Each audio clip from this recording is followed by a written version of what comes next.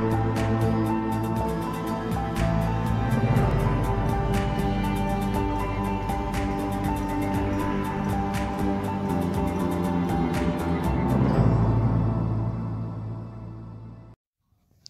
is What are the key features of UN World Happiness Report 2020?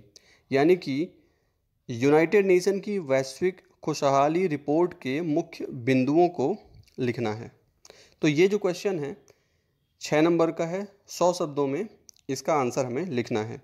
तो इसके answer में कौन कौन सी बातें होनी चाहिए, वो एक बार देख लेते हैं।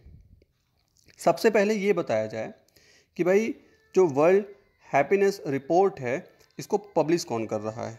इसको रिलीज़ कौन कर रहा है? तो इसके लिए यूएन की तरफ़ से एक इनिशिएटिव लिया गया है, जिसका नाम है सस्टेनेबल डेवलपमेंट सॉल्यूशन नेटवर्क तो ये हमने बता दिया फ़र्स्ट पॉइंट में। फिर 2020 का जो रिपोर्ट आया है, वो किस दिन रिलीज़ हुआ है? तो 20 मार्च।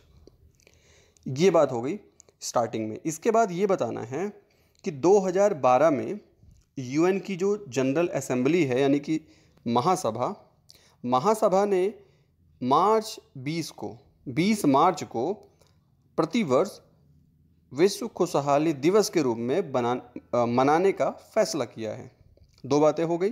हमने पहले बता दिया कि ये जो रिपोर्ट है, रिलीज़ कौन कर रहा है। फिर हमने ये बता दिया कि भाई 20 मार्च को किस दिवस के रूप में मनाया जा रहा है, कब से मनाया जा रहा है 2012 से मनाया जा रहा है।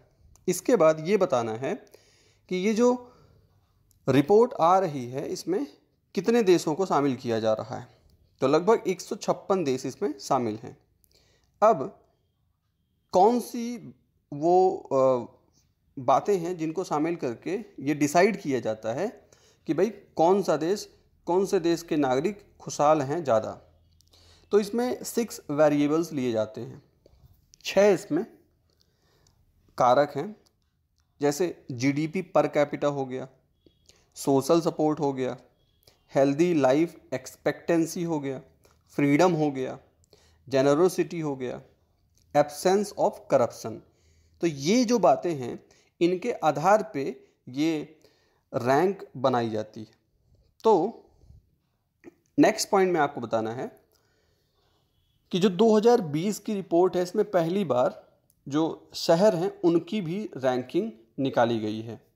इसके आधार पे कि शहर में जो समाज है, शहरीकरण है, प्राकृतिक वातावरण है, वो किस प्रकार से हैप्पीनेस में रोल प्ले कर रहे हैं, इन सब फैक्टर्स को मिला करके एक रैंक बनाई गई है। अब बात करते हैं देशों की। तो हमें तीन बातें बतानी हैं। पहली, कि भाई टॉप में कौन से कंट्रीज़ हैं? दूसरी, कि बॉटम में यानी कि सबसे नीचे कौन से देश हैं? और फिर बात इंडिया और उसके पड़ोसी की। इतनी बातें हमें इस क्वेश्चन के आंसर में दे देनी है। तो लगातार तीन सालों से फिनलैंड को सबसे ज़्यादा खुशहाल देश होने का गौरव मिला है। अब एक बात ध्यान रखने वाली है कि जो नॉर्डिक स्टेट्स हैं नॉर्डिक का मतलब होता है नॉर्थ एज वो राज्य यूरोप के वो राज्य जो उत्तर में स्थित हैं, उनको क्या बोला जाता है? नॉर्डिक स्टेट्स जैसे कि डेनमार्क हो गया, फिनलैंड हो गया, आइसलैंड हो गया, नॉर्वे हो गया, स्वीडन हो गया।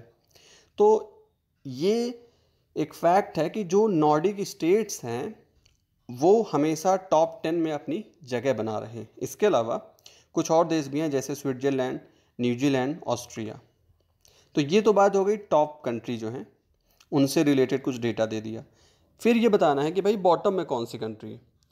तो नीचे से रैंक जिनकी लगती है, जिन देशों की लगती है, ये वो देश हैं जहाँ बहुत ज़्यादा वायलेंस होता है या बहुत गरीबी है।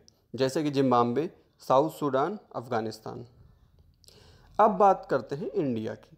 तो इंडिया की रैंकिंग जो पिछले साल एक थी सॉरी पिछले साल 140 थी, इस साल गिर के 144 हो गई है। लेकिन अगर इसके पड़ोसियों की बात करें, भारत के पड़ोसियों की तो नेपाल की रैंकिंग काफ़ी अच्छी है 92 है, पाकिस्तान की 66 है, बांग्लादेश की 107 और श्रीलंका की 130 है। तो इस प्रकार से इंडिया ने रैंक में नीचे से जो पंद्रह देश हैं, उसमें एक तरह से इंडिया का उसमें एंट्री हो गया है। तो ये कुछ आंकड़े थे जो वैश्विक खुशहाली रिपोर्ट के थे। तो सौ नंबर, सौ शब्दों में अगर छः नंबर के क्वेश्चन का आंसर आपको देना है तो इतनी बातें तो होनी चाहिए। और भी कुछ बातें आप शामिल कर सकते हैं, और हो सकता है कि जो मैंने पॉइंट्स बताए हैं, वो आपके, ये पॉइंट्स आपके आंसर में ना हो तो इसमें कोई दिक्कत नहीं है। बस इतना तो ध्यान रखना है कि ये तो आपके आंसर में होना ही चाहिए कि रिपोर्ट रिलीज़ कौन कर रहा है इंडिया की क्या पोजीशन है, और टॉप में कौन है बॉटम में कौन है। बाकी कुछ बातें इधर उधर आप कुछ पॉइंट्स एक्स्ट्रा ऐड कर दो और कुछ यहाँ वाले पॉइंट्स हो सकता है, आपके आंसर में नहीं हो। ये चल जाएगा।